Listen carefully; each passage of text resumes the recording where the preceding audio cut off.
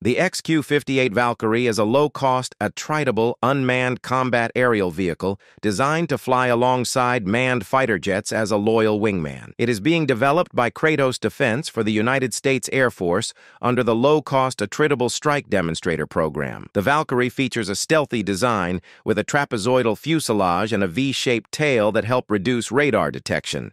It has a maximum takeoff weight of around 6,000 pounds and can reach speeds of up to Mach 0.7 2. The drone has an impressive range of 2,500 nautical miles and can stay airborne for over six hours on a single mission. The XQ-58 Valkyrie can carry a payload of up to 600 pounds, including weapons, sensors, or electronic warfare systems. Rather than operating alone, it works under the control of a parent aircraft, such as the F-22 Raptor or F-35 Lightning II. These fighter jets can provide targeting data, issue mission commands, or direct the Valkyrie along specific flight paths. Although the Valkyrie is still in development, it has already completed multiple successful test flights.